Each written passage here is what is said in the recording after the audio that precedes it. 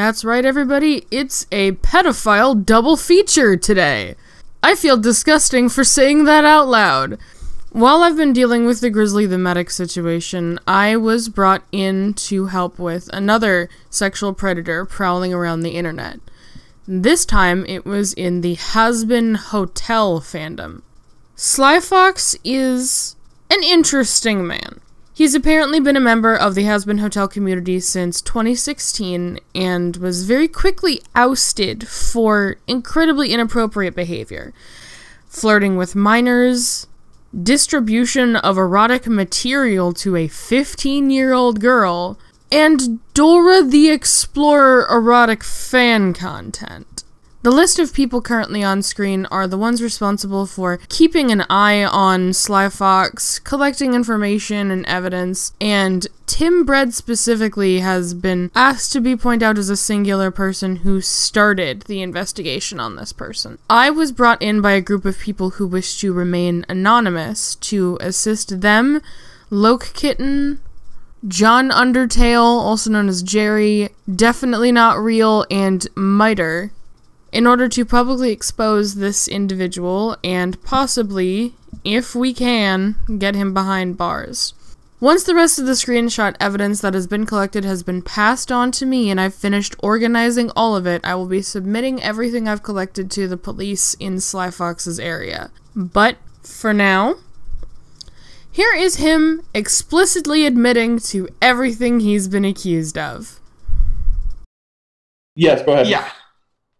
Okay, so there you go. So we are here today to basically, this is our olive branch for our metaphorical olive branch for you. And this olive branch comes with, assuming that we get the whole truth, this olive branch means that we can potentially work on getting you back into the fan court and the good graces of people such as my. Uh, so just so you know. However, you have to be incredibly truthful. Like, we, no bullshitting, no lies, okay? Do you understand? Yes, I understand. Okay, perfect. So, you did you know X was 15? Uh, no. Okay, because we have screenshots proving otherwise. Well, I I don't even remember her even mentioning her her age. Mm, I'm she's gonna add in. I'm gonna add in. I do believe that didn't it was there before or after he joined the fan court. Can I ask? And X was there, um, but well, X was there during his time in the fan court. Okay, well then She- uh, they would have She said that. she actually joined about a few days after me because I remember her joining maybe about two days after I had joined.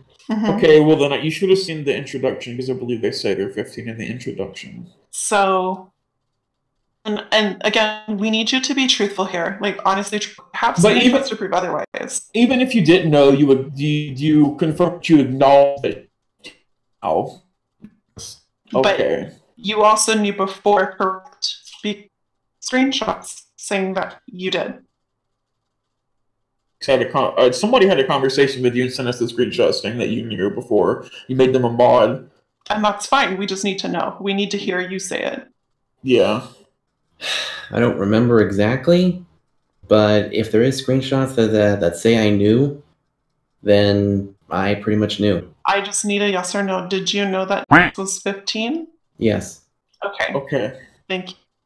And when you gave her the status of co owner, knowing that she was 15, you allowed her to view pornography, correct? Or rather, I should say, did you allow her to view pornography knowing that she was 15? No, because before I even made her a co-owner, there was already filters that were going to shield that. And the thing was was that when you're a co-owner, you got access to every channel that's Right. in there. Right. And it was supposed to be that because it was her, there was supposed to be filters so that she didn't have to go into those chats specifically. But The that's filters not. never worked. And she mentioned that before too, because we were talk- we talked about it while you were in a voice chat one day, and she asked you about that. and again, you have to be honest here. So you gave her co-owner and did not lock those channels, even though you knew she was 15, correct? Yes, or yes, I should say yes or no. Uh, yes. So, knowing that she was 15, you still gave her co-owner, which gave her access to all the channels, including NSF. Did you allow her to see NSFW content in that respect? Um. Yes, but in in those in those chats, the not safe for work stuff, there wasn't anything in particular like okay, there wasn't anything R rated in there.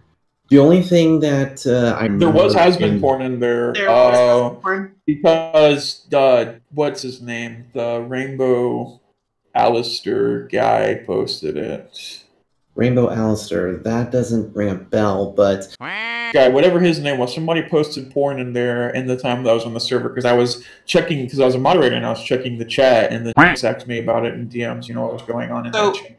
basically what we're saying oh sorry so basically you allowed nix to see pornography by not did you allow nix to see pornography by not locking the channels from her um, no, what do you mean no because I know that me and were the ones that set up the not safe for work things.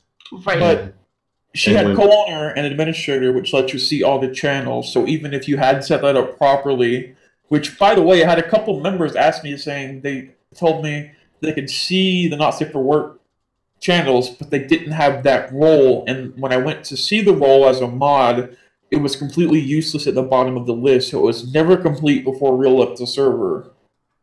Yeah, because we, we, we, we, we- because before Will and I, because before left the server, we were already beginning talks to fix the not safe for work chats and create a role right that was called Erotic City. okay Yes, but that's what. here's the thing the point that we're trying to make is that you knew nix was underage you already said yes and that even though you knew she was underage she still had access to nsfw Basically, she had administrator and she could see those channels. Do you confirm that? Yes. Okay, Okay. so we're gonna move on to the next question. And again, we have we have screenshots of everything, so we just prefer if you're truthful and honest, because that's the only way we can help fix the situation. I can bring up this next thing considering it's affected me in the past too. Go for it. What we want to ask is they need to know about the past so they so we can move on from this because people are calling saying these guys are lying. They're not going to say whether you did it or not to the people on the server, but they need to know in the past you role played and And wrote. And wrote, you know, erotic fiction of Door. That's what they hear, and I've heard it. Now I'm, I'm here to, you know, help you through this because you've told me before, right? Uh, they just need to hear it themselves because they want to know the truth. So you have done this before, correct? Are my blue shorts here? Yes, it was. Uh, it was a past that I've been trying to put behind me for quite a while now. But you confirm you did it, yeah? Or rather, let me rephrase that. Did Okay. you or did you not write erotic fan fiction of Dora the Explorer? I did. Okay. Okay.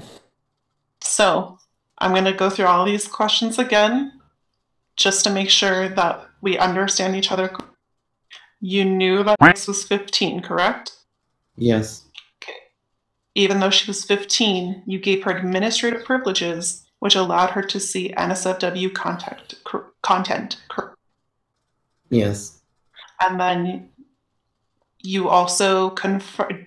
Do you or do you not confirm that you wrote erotic fanfiction of Dora the Explorer? And uh, yeah, sorry, you did. You do confirm that you in fact wrote that erotic fanfiction of Dora the Explorer. I confirm. Okay. Okay. Um, give me one second. I believe the hardest part is over, right?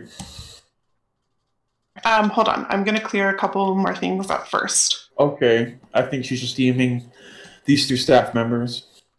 So I'm gonna. I'm sorry. I'm gonna circle back a little bit here. Um, I'm gonna circle back to a couple things actually that I forgot. Okay. So you said that you didn't understand why people were accusing you of being a kid diddler or a pedophile or whatever. But you also knew that Max was underage and you were flustering even though you knew he was underage. And I get that we all make mistakes, but do you understand how bad that looked? Which is exactly why we have a no flustering rule if you're not an NSFW, which you knew about. And you knew this was the reason why, because you were there when we implemented. Yes. Okay. And then um, I'm trying to find copies right now. Um, we also got reports of um, some erotic art that you've drawn. Um, have you drawn erotic art? I have.